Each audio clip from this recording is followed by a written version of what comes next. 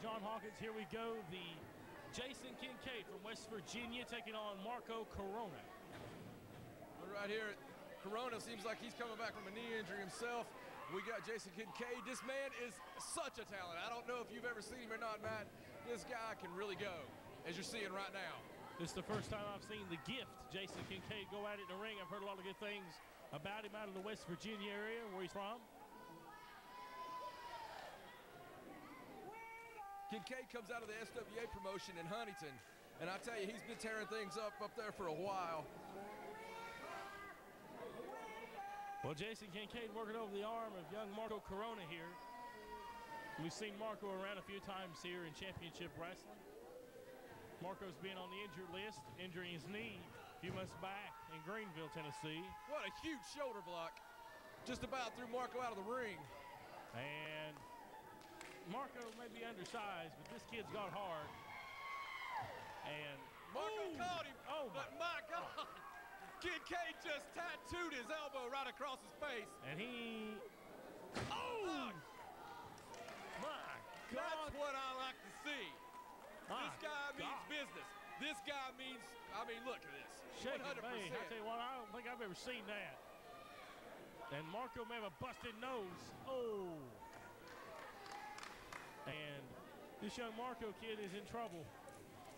One, two, oh, and Marco Corona rolled his shoulder up at the last second.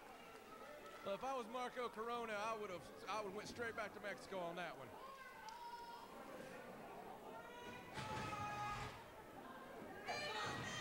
Ooh, running forearm shot. Oh, what a clothesline.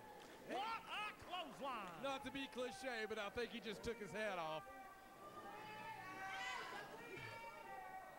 And he's gonna looks like he's gonna rear him back here.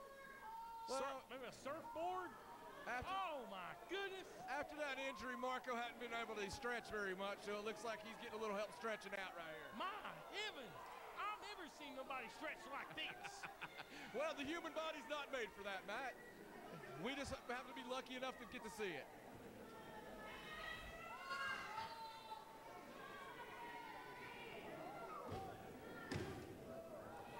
Got to be careful there. Both both shoulders seem to be uh, pinned to the mat on that. Kincaid up. Oh my God! Right across the knee. He's breaking this guy in half. He's teaching him what. He, Kincaid is making an impact. He's trying to show exactly what he's got. He's on national TV now. and wait a minute here. What's he going for? What in the world is that? He's gonna break this kid in half. We're going to see a spine come out of belly here in a oh second. My gosh. Look at him pull it The on the face. might want to think about stopping this. Oh my gosh. I think I have a new favorite wrestler. One, two, and Marco rolling that shoulder up. How in the devil did he roll the shoulder up, John? Marco Corona's lost his mind. I mean, come on. This if this doesn't call for a ref stoppage, I don't know what does. Well, I'll tell you what, I'd like to say hello right now to the wrestling fans watching us on the Marshall College Network in West in Huntington, West Virginia. Hello to you folks from Championship Wrestling.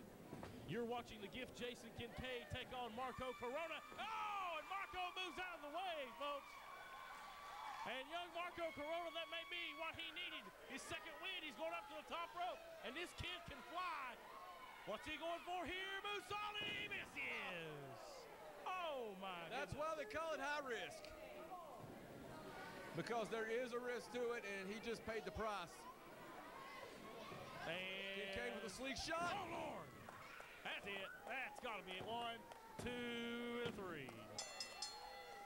What an impressive debut for Jason Kincaid.